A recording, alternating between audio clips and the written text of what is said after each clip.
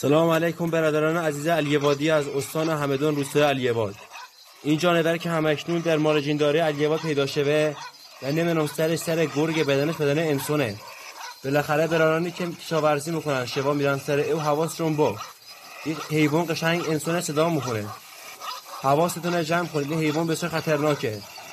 تا در استان همدان پیدا شوه.